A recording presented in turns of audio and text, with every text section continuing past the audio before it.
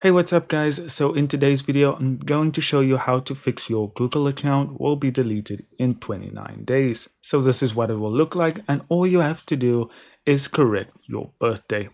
So we are going to leave the screen or whatever you are in that brought you here and go to Google Chrome and you can just Google search recover deleted Google account but I will try and drop a link at the bottom of this video to make it quick and easy.